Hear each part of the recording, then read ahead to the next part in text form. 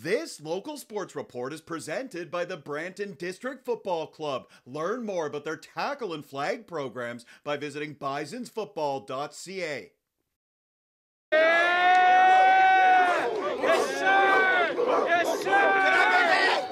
Let's head to Brantford for under 18 football under the lights. The Bisons hosting the Sarnia Sturgeon on Saturday night, and it's a good start for the visitors. It's a handoff to Tyler Hopwood, and he scores the first touchdown of the game. Hopwood scoring from 12 yards out. Sarnia takes a 7 0 lead. The Bisons now with the ball. Tyson Gooden fires downfield, and how about this catch from Zagam Syed? He's in traffic and makes the play. Brantford is on the move as we start the second quarter. Same possession. This is Gooden with a deep ball to the end zone. Keisha Raposo is open, and he's got a touchdown. That's a 23 yard passing play. We are tied at seven. Then it's a nice play from the Bison's defense. Taden Trombley comes in, and he stuffs the run play. Liam Ryder also in on the tackle. Still 7 7. A few minutes later, Liam Ryder doing Liam Ryder things. This kid is an interception machine. He picks it off and takes it to the Sturgeon 40 yard line. A huge play from Ryder and the Bisons capitalize on the turnover. Tyson Dick scores on a short run. He makes it 17 7 for the Bisons.